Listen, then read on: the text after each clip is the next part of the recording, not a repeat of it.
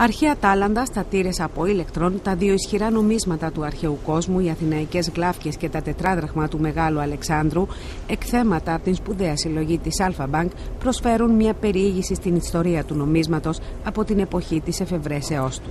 Η έκθεση με θέμα το νόμισμα στον αρχαίο ελληνικό κόσμο που παρουσιάζεται στο Μουσείο Χαρτονομισμάτων της Ιωνικής Τραπέζης στην Κέρκυρα άνοιξε τις πύλες της στις 6 Ιουλίου και θα διαρκέσει έως τις 31 Οκτωβρίου.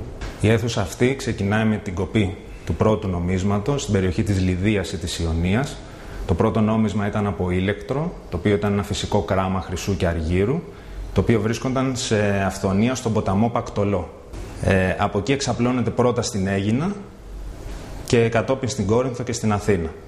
Ο πρώτος ο οποίος κάνει ε, την προσπάθεια να διαχωρίσει, ουσιαστικά διαχωρίζει τα δύο μέταλλα, το χρυσό από το ασίμι, είναι ο Κρίσος, βασιλιάς της Λιδίας, ο οποίος και τυπώνει δύο νομίσματα, κόβει δύο νομίσματα με τις ίδιες παραστάσεις, ένα σε χρυσό και ένα σε ασίμι. Στις προθήκες παρουσιάζονται οι πρόδρομοι του νομίσματος και ο τρόπος κατασκευής των αρχαίων νομισμάτων. Ακολουθούν η εφεύρεση του νομίσματος, ο διμεταλλισμό και τα πρώτα νομίσματα του ελλαδικού χώρου. Με το πρώτο νόμισμα της Ελλάδος, που κόβεται στην Έγινα και έχει για σύμβολό του τη θαλάσσια χελώνα.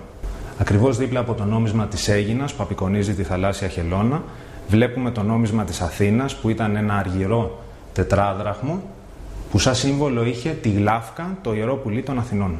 Ένας αργυρός στατήρα ε, και είναι το νόμισμα της Κορίνθου, ε, έχοντας ε, για σύμβολο τον Πίγασο. Στην αίθουσα αναπτύσσεται η εξέλιξη του νομίσματος καθ' όλη τη διάρκεια της αρχαιότητας που διακρίνεται σε τρεις περιόδους, την αρχαϊκή, την κλασική και την ελληνιστική. Στο σημείο αυτό βλέπουμε νομίσματα της ελληνιστικής περίοδου από το 336 π.Χ. έως τον 1ο αιώνα π.Χ. Η μεγαλύτερη καινοτομία για τη συγκεκριμένη περίοδο είναι η απεικόνηση θνητών στα νομίσματα. Ο πρώτος που απεικονίζεται είναι ο Μέγας Αλέξανδρος, με θεοποιημένα όμως χαρακτηριστικά. Με το νόμισμα της Κνωσού στην Κρήτη, το οποίο είναι ένα αργυρό τετράδραχμο του 2ου πρώτου αιώνα π.Χ. και για εμπροστότυπο έχει τον Δία, ενώ για οπισθότυπο έχει έναν λαβύρινθο. Σε έναν ιδιαίτερο χώρο υπάρχει ένα αφιέρωμα στην αρχαία νομισματοκοπία των Ιωνίων νήσων, της Κέρκυρας, της Λευκάδας, της Κεφαλινίας και της Ακίνθου, με αντιπροσωπευτικές εκδόσεις. Στην έκθεση παρουσιάζονται συνολικά 97 νομίσματα.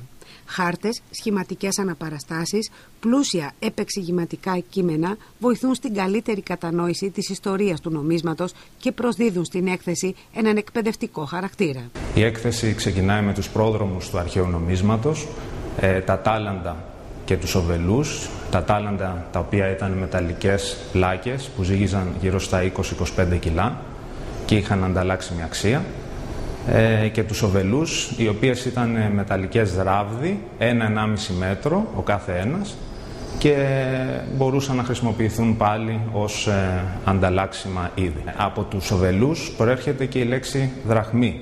Ουσιαστικά οι έξι οβελοί ε, χωρούσαν σε μία παλάμη ε, και από το δράτομε που σημαίνει πιάνω και κρατάω σφιχτά προέρχεται η λέξη δραχμή. Μάλιστα, από το Σεπτέμβριο θα διεξάγονται στον εκθεσιακό χώρο του Μουσείου εκπαιδευτικά προγράμματα με ειδικά σχεδιασμένο έντυπο.